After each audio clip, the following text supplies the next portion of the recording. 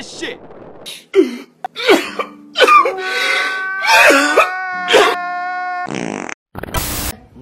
ਇਹ ਤਾਂ ਕੱਢਦਾ ਫਿਰਦਾ ਸਾਰਿਆਂ ਦੇ ਵੱਟ। ਆ ਚੱਕੋ ਡੋਲਾ ਦੇ ਆ ਚੱਕੋ ਵੱਟ। ਗਾਣੇ ਦਾ ਸ਼ੌਕ ਕਿੱਦਾਂ ਪੈਦਾ ਹੋਇਆ? ਬਸ ਗਾਣੇ ਦਾ ਗਾਣੇ ਦਾ ਸ਼ੌਂਕ ਇਦਾਂ ਹੋ ਗਿਆ ਜੀ ਮੈਨੂੰ। ਤੇ ਮੈਂ ਉਸ ਟਾਈਮ ਕਲਾਕਾਰਾਂ ਨੂੰ ਦੇਖਣ ਜਾਂਦਾ ਹੁੰਦਾ ਸੀਗਾ। ਪਹਿਲੀ ਵਾਰ ਸਾਡੇ ਉੱਥੇ ਲੱਗਿਆ ਸੀਗਾ ਆਪਣਾ ਜਿਹੜਾ ਕਲਾਕਾਰ ਸੀ? ਕਿਹੜੇ ਕਲਾਕਾਰ ਆਏ? ਗੁਰਦਾਸ ਮਾਨ ਸਾਹਿਬ। ਆਹਾ ਹੱਕ ਲਾਈਵ ਦੇ ਜੱਟ ਦੀ। ਸਾਦਾ ਵਸਾ ਕੋਈ ਨਾ। ਨੀ ਤੂੰ ਲੌਂਗ ਟਾਈਮ ਮੰਗਦੀ ਐ ਯਾਰੀਆਂ। ਦੇ ਜ਼ਮੀਨਾਂ ਵੰਡੀਆਂ ਪਾਉਂਦੇ ਜੀ।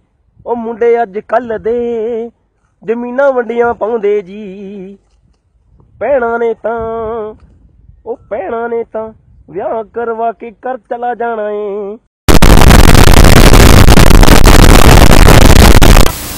ਸਰਕਾਰ ਮੈਨੂੰ ਇਜਾਜ਼ਤ ਦੇਵੇ ਤਾਂ ਮੈਂ 1 ਮਿੰਟ ਦੇ ਵਿੱਚ ਪਾਕਿਸਤਾਨ ਦਾ ਜ਼ਿਲ੍ਹਾ ਜ਼ਿਲ੍ਹਾ ਕਰ ਸਕਦਾ ਮੇਰੇ ਅੰਦਰ ਇੰਨੀ ਹਿੰਮਤ ਹੈ ਆਦਮਕਾਤੀ ਬੰਬ ਬਣ ਕੇ Damn, it feels good to be a gangster. A real gangster ass nigga plays his cards right. A real gangster ass nigga never runs his fucking mouth. ਨਹੀਂ ਮੇਰਾ ਤਾਂ ਕੋਈ ਕਸੂਰ ਹੀ ਨਹੀਂ ਹੈਗਾ ਜੀ ਮੈਂ ਤਾਂ ਉਦਾਂ ਹੀ ਟੰਗਦਾ ਮੈਨੂੰ ਤਾਂ ਲੋਕਾਂ ਨੇ ਮੈਨੂੰ ਇੰਨਾ ਕੁ ਮਾੜਾ ਕਿਹਾ ਜਿੰਨੇ ਮੈਨੂੰ ਲੋਕ ਮਾੜਾ ਕਹਿੰਦੇ ਆ ਉਸ ਤੋਂ ਵੱਧ America England Australia Paris England ਦੇ ਜਿੰਨੇ ਵੀ ਆਪਣੇ ਸਰੋਤੇ ਆ ਮੇਰੇ ਸਾਰੇ ਮੈਨੂੰ ਪਸੰਦ ਕਰਦੇ ਆ ਜੀ What? Bro, what are you talking about, man? ਉਹ ਤੇਰੇ ਇੰਗਲੈਂਡ ਜਾਣ ਪਿੱਛੋਂ ਮੇਰਾ ਕੀ ਹਾਲ ਹੋਇਆ ਉਹ ਤੇਰੇ ਇੰਗਲੈਂਡ ਜਾਣ ਪਿੱਛੋਂ ਮੇਰਾ ਕੀ ਹਾਲ ਹੋਇਆ Just do it! Yes, you can!